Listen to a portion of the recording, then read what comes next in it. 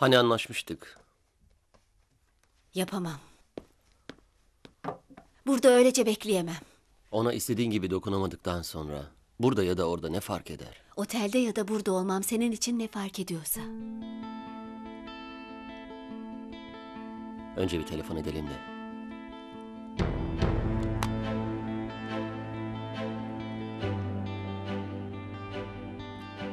Sinan, Mithat ben. İpek'in durumunu merak ettik de. Ha öyle mi? Hangi hastane peki? Aman Allah'ım. Anladım. Görüşürüz.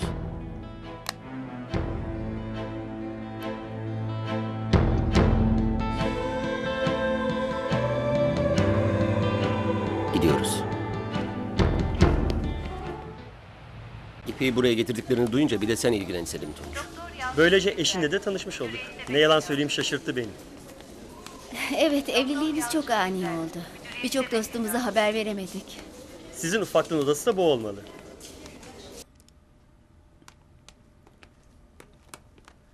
Merhaba. Demek küçük hastamız bu. Hoş geldiniz Merhaba Salma Hanım. İffet Hanım. Hoş geldiniz. Merhaba İffet.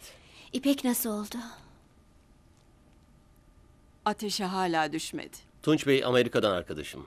Orada master yaparken üniversitenin göz bebeğiydi. Ben hala daha iyisini tanımadım. Abartma Mithat. Bir bakalım.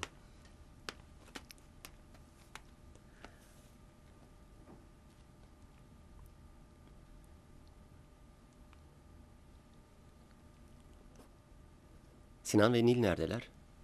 Az önce çıktılar. Nil Hanım kendini çok halsiz hissediyordu. Sinan Bey onu eve bırakmaya gitti. Gel biz dışarıda bekleyelim istersen. Sen çık. Ben burada kalmak istiyorum.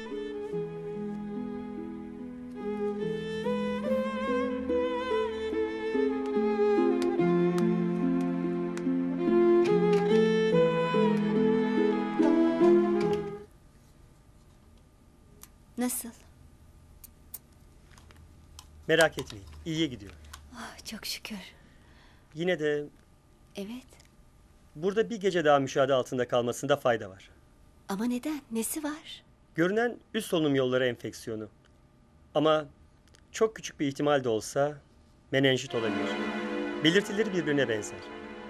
Tunç Bey, lütfen şu anda yapılabilecek bir şey... Yapılacak şey eklemek.